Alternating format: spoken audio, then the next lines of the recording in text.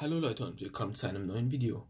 Heute packen wir das Galaxy S10e aus und das ist das erste Unboxing auf meinem Kanal. Und ich würde sagen, wir fangen direkt an, das auszupacken.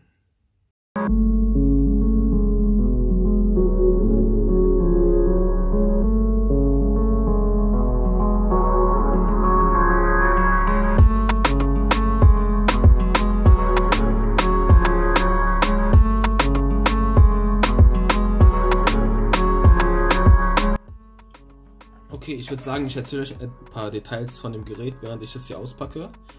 Und zwar haben wir hier die 128 GB Version mit, dem, mit den 6 GB RAM. Ah, hier steht es. Äh, das Gerät hat zwei Kameras.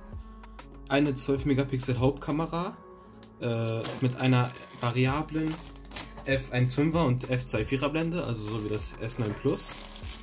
Hier ist die Kamera jedoch etwas besser. Dann haben wir eine Ultraweitkamera. Beim S9 Plus ist es ja die äh, Zoom Telezoom-Kamera äh, mit einer f2.2er Blende. Und ich versuche das jetzt hier mal aufzubekommen und das richtig.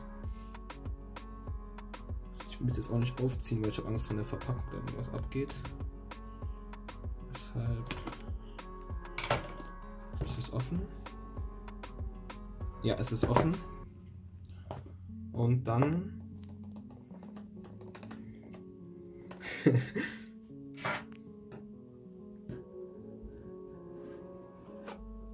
Sorry Leute, die Speicherkarte war gerade voll. Äh, auf jeden Fall, wir fangen mal an mit dem Papier. Unnütz halt, bis auf vielleicht das Zimmer Jack Tool. Braucht keiner. Das Gerät. Ja, braucht auch keiner. Und dann kommen wir direkt zum Hauptstück hier. Und zwar zu diesem Netzteil. Denn es ist ein ganz normales 15 Watt Netzteil, wie wir es von Samsung die letzten Jahre gewohnt sind. Ein Adapter zum Übertragen der Dateien von dem alten Handy. Da kann man ganz normal das Kabel anschließen. Äh, hier haben wir dann das, äh, das Stromkabel. Da ist auch so ein kleiner Adapter drin von USB-C auf nee, von Micro USB auf USB-C. Und die AKG-Kopfhörer, die mit einem Klinkenanschluss kommen, äh, die mit einer Klinke kommen. Denn das Galaxy S10 oder die Galaxy S10e, äh, die Galaxy S10 Geräte wie das Galaxy S10e haben immer noch den Klinkenanschluss. Und ich würde sagen, machen wir einfach mal die Folie hier ab.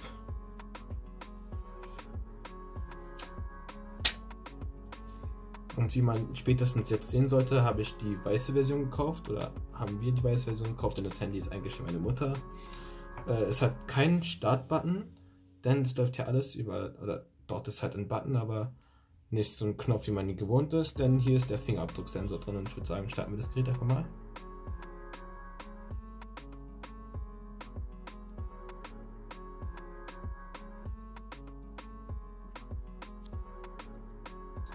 Und hier sieht man schon das erste Merkmal dieses Gerätes und zwar hat es diese Loch-Notch oder Punch-Hole oder Glory-Hole, wie viele sagen. Ähm, und das ist besonders, denn du hast die komplette Bildschirmfläche und das ist jetzt nicht wie bei der Teardrop-Notch zum Beispiel in der Mitte, so dass du hier in der Ecke für eine viel größere Bildfläche hast, da du halt eher weniger darauf achtest. Und ich würde am besten sagen, ich richte das jetzt mal kurz ein und dann sehen wir uns gleich wieder. Okay Leute, nachdem ich das Gerät gerade eingerichtet habe, ist mir aufgefallen, dass es nichts Besonderes mehr gibt, das man im Unboxing klären sollte.